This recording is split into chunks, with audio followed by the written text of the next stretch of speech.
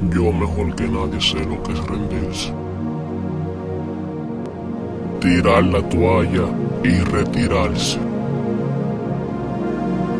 Tener días lluviosos y grises. Pero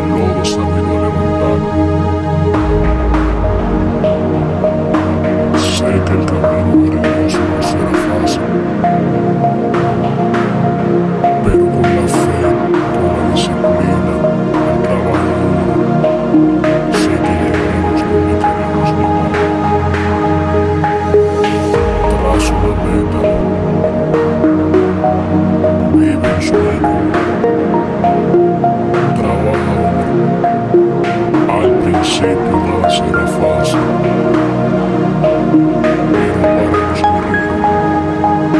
Resist. Y yo soy más